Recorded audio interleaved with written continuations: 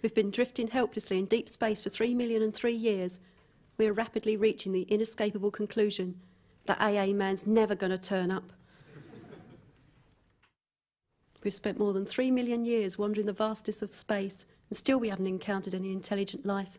Last week we bumped into Anneka Rice and her camera crew. They asked us directions to Coventry Cathedral. It turned out to be a mirage in the end. Despite our complaints, life aboard's not too bad. We're three million light years from Earth, and this morning I found out we're still included in the next Reader's Digest Lucky Prize draw for a Vauxhall Nova.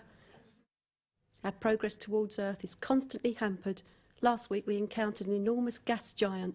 It was in the sleeping quarters. It's the last time we let Lister cook Mexican food. A strange sense of utter desolation, despair, and despondency seems to have descended on the crew. It seemed to start when they all watched the video, a complete history of English cricket. Despite the terrible loneliness we all face daily, we're all managing to hold on to our sanity. Well, I am. No, you're not. I am. I suspect the crew are beginning to doubt I've got an IQ of 6,000. Ridiculous. To doubt me, who's solved the ultimate enigma, the riddle of the purpose of existence. Oh, bugger me, it's gone. In our journey through the stars, we've encountered many strange phenomena. The other day, we flew through a space mirage zone, found ourselves in an enormous restaurant where we met an exact duplicate of the 20th century comedian Ken Dodd. We all thought he was totally authentic till he offered to pay for our meal.